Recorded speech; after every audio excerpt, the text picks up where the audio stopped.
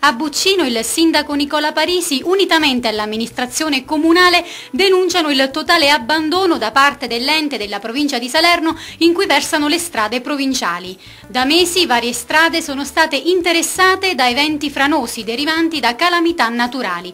Episodi questi che rappresentano intralcio al traffico ordinario tra i comuni di Buccino e San Gregorio Magno, dove vi è da tempo un restringimento di carreggiata.